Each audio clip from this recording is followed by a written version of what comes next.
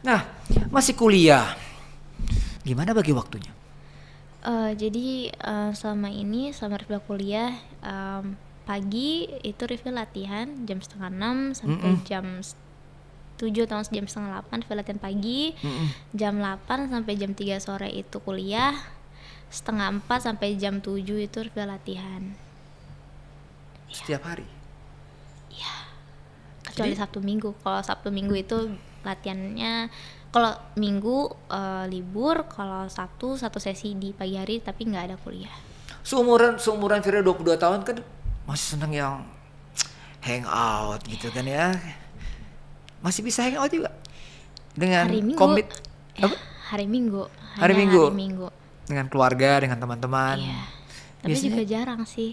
Biasanya udah capek. Jadi istirahat aja.